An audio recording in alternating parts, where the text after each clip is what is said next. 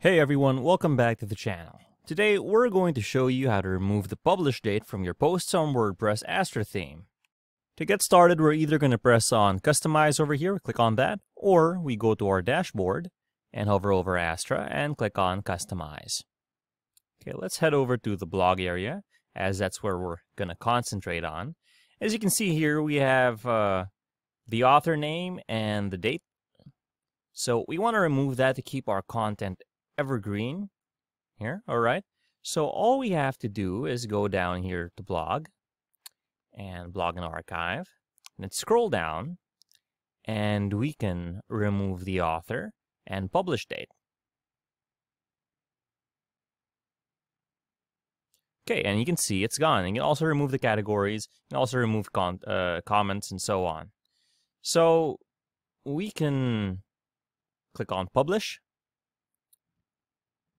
and once that's done, here's our live page. Let's refresh that.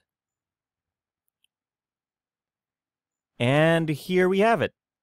The author, the author, and the published date are gone.